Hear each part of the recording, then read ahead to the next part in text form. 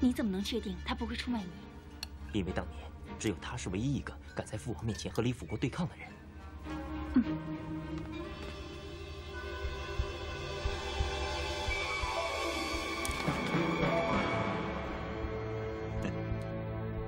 我就猜到这两天，那老妖怪会找人要我的命。老妖怪是谁？没想到他还有这种的幽默，竟然派一个姑娘前来。看来李大人瞧不起女流之辈了。哦，当然不是。只是那老妖怪又做了件让我意料之外的事。